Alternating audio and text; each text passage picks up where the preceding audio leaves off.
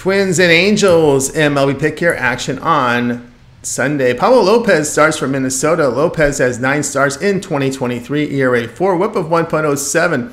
The right-hander an elite strikeout mark of 30%, 6.5% with the walks. Ground balls 42%, 1.33 home runs per nine innings. Shohei Ohtani, the starter for the Angels. Ohtani in nine starts, ERA 3.23, whip of 9.91. The right-hander also an elite strikeout rate of 34%, 10.5% with the walks. Ground balls dealt 47%, 1.36 home runs per nine innings.